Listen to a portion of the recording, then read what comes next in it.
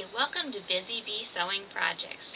I'm Sherry and today we're going to be making a bolster that's a pillow. So a bolster is a pillow that's got this kind of a strange shape to it. Anyway, mine, we're going to smock it today and it's going to give you this really cool pattern. And it looks like it's woven, but it's not. It's just the way that the fabric is stitched that creates this really neat pattern. I came up with this idea because I found a really old pattern actually at a secondhand store that had this design on it. But you don't need to purchase the pattern to be able to figure out how to do it because this is probably a little outdated. What you need to do this project though is first of all you're going to need some fabric and I picked out some nice um, kind of a red velvety fabric and for one bolster this side you need a piece that's going to be 27 by 30. So get yourself a chunk of fabric, 27 by 30, and that will make one pillow.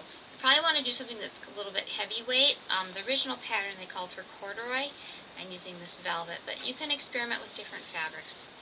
So in addition to your fabric, you're going to need stuffing to stuff it, so you want it nice and squishy.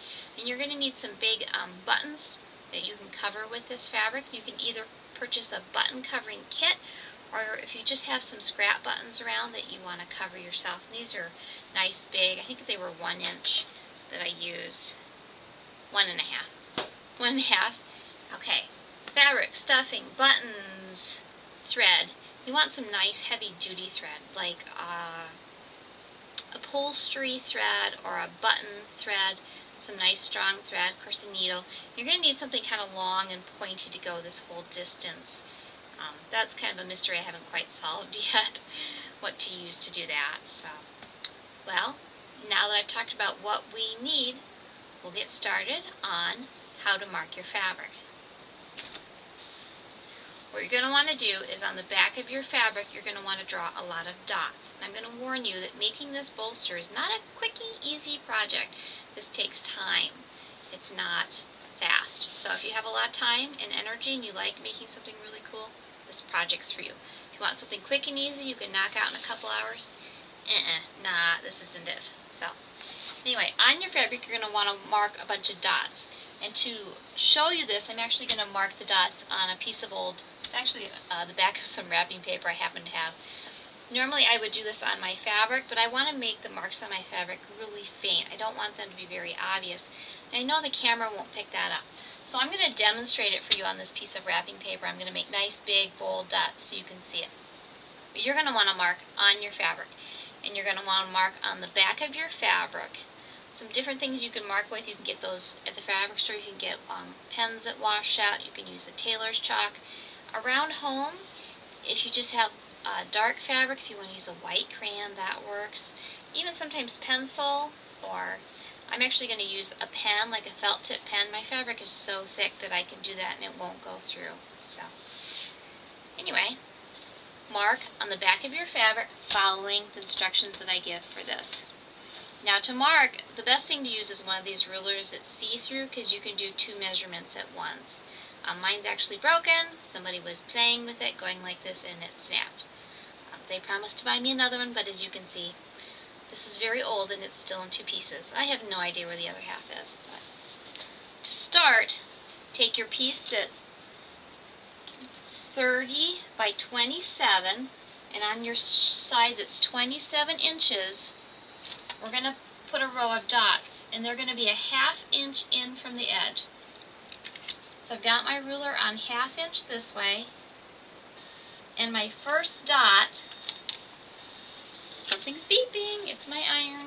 Turn that off. Okay. So I'm a half inch in and from the bottom I'm one and a half inches up. So I've gone a half inch over and one and a half up. And I want to continue putting dots all the way up that are half inch in from the side. But now I need to go to the half inch point.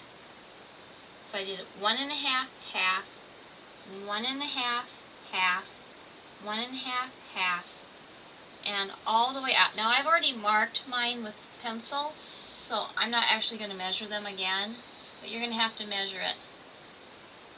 So you see how I have a whole line of dots, I have a pattern, and there's one half between them, and they're a half inch apart. And then at the top here, if you're a little off, it's okay. And then I'm going to draw a little bit of a line joining my small dots.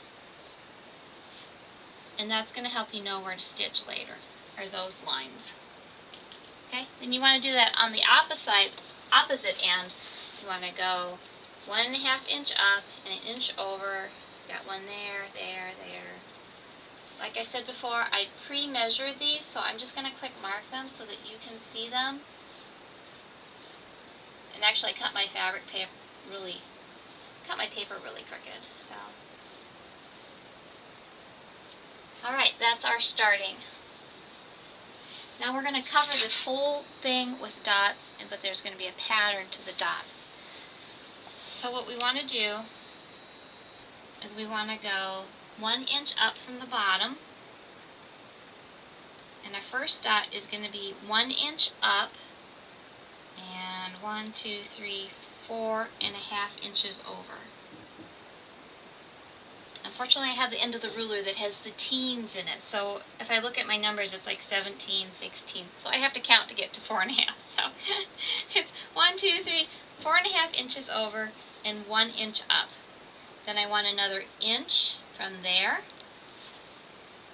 And then from there I'm going to go two inches, one inch, two inch, one inch, two inch, one inch, and all the way down two, one, two, one, two, one, two, one, and then you should have about four and a half inches. Actually, I think it's different because the pattern's changed on us. From this end, you should have about one, two, three and a half inches on this end. So you don't want to start right here. You want to start in four and a half, and then one inch, two inch, one, two, one, two, one, all the way down. Hope I haven't lost you yet. Okay, next row, we're going to go two inches from the bottom. We were at one inch before, now we're two inches up. We're going to go one, two, three and a half. I got to drop my ruler down a little bit because otherwise my dots are a little high. So I'm going to drop my ruler down a little bit. Okay. Two up, three and a half over, and then we're going to repeat. We're going to go one inch, two inch, one inch, two inch, one inch, two, one, two, one, two, one, two, one, two, one. And we'll have to see how it works out down there. Okay. Now we want to go an inch above our previous line. But we want to be four and a half over. Basically we're going to duplicate this line up here. So every line kind of shifts. So we're an inch above our previous line. My ruler's not. We'd be three inches from the bottom. And one, two, three, four and a half. So then we go one inch, two inch, one inch, two inch, one inch, and on down the row. I'm going to stop doing all the way down because I think you get the point. An inch above this. Start at three and a half, go over one, two inch, one inch, two inch, one inch. Then we go back to four and a half, one inch, two inch, one inch, two inch, one inch, etc., etc., etc. What you're going to do now is you want to join these two dots, and these two, and these two, and these two. And then if I was to continue my pattern, So you're going to end up with, um, and once again, I've already drawn my dots on here to expedite the process. I want to show you what you're going to end up with if you go all the way up drawing your dots.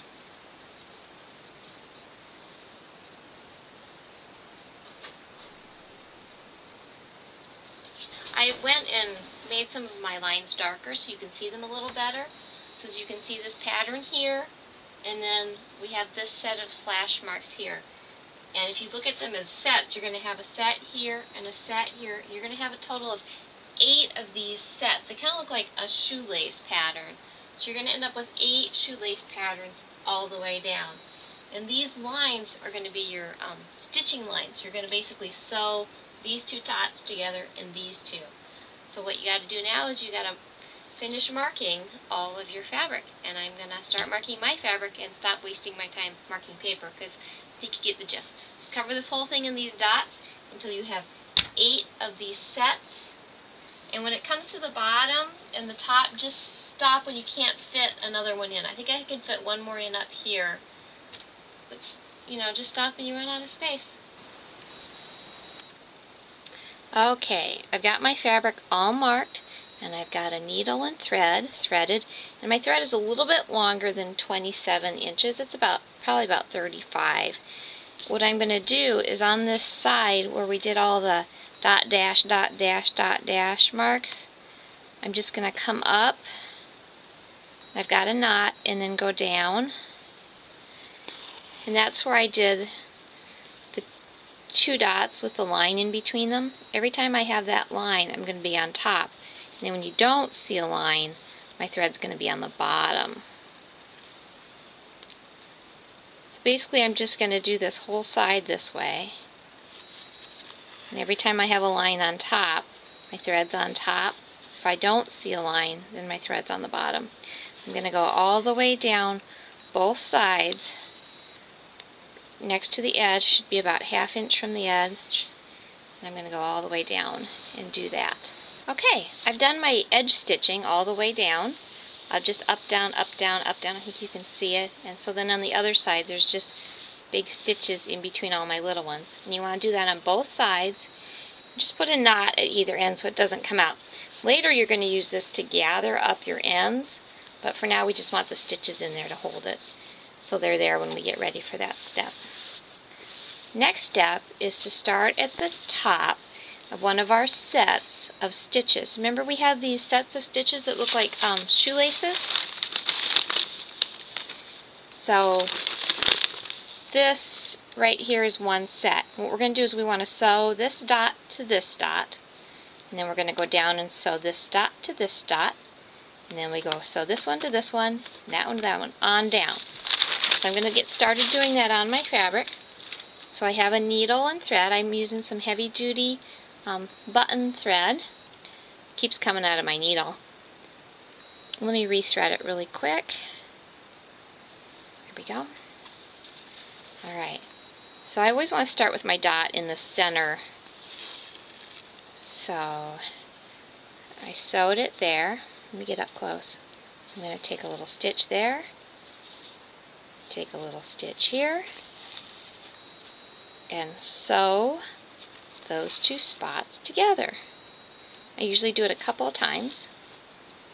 I'm just going to go around and make a little knot. There. And I go down to my next, next dot in the middle. I'm going to take a stitch there. I'm going to tie a knot.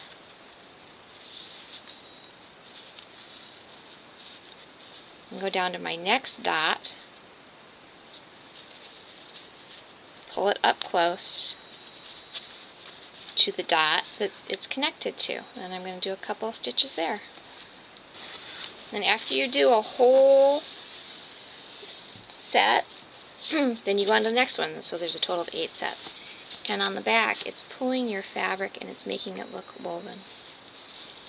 So I hope that makes sense. You're basically You've got eight sets of these shoelace marks and you're going to go down and you're going to sew these two dots together just taking a little bit of the top of the one and a little bit of the top of the other and kind of pinching them together and sewing them together and then you jump from here to here. You don't sew these two together, you just jump but secure it.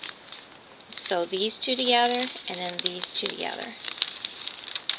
And you do that for the whole thing, all eight sets of, I don't know what you call them, shoelace, all eight sets of shoelaces.